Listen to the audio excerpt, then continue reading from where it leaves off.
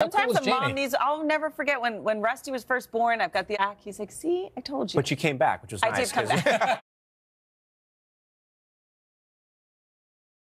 That's exactly Um, exactly evidence. Uh, Katherine joins us now. Katherine, good morning. Came from your husband, Josh Kelley. You guys have been married 15 years. He said the show made him cry like a baby. Is that did, true? But he he cries a lot. So I don't, Although my, I'm Yeah. having an issue with my dog right now, so we can Aw. we can discuss. Um, on all day. Yeah.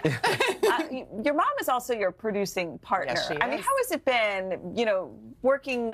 Katherine, thanks so much. Thank That's you. great. Thank and thank you. you for sharing so much, too. It's wonderful. Oh, yeah. You can catch the first part of Firefly Lane, season two, streaming on Netflix December 2nd, and the final batch of episodes drops next year.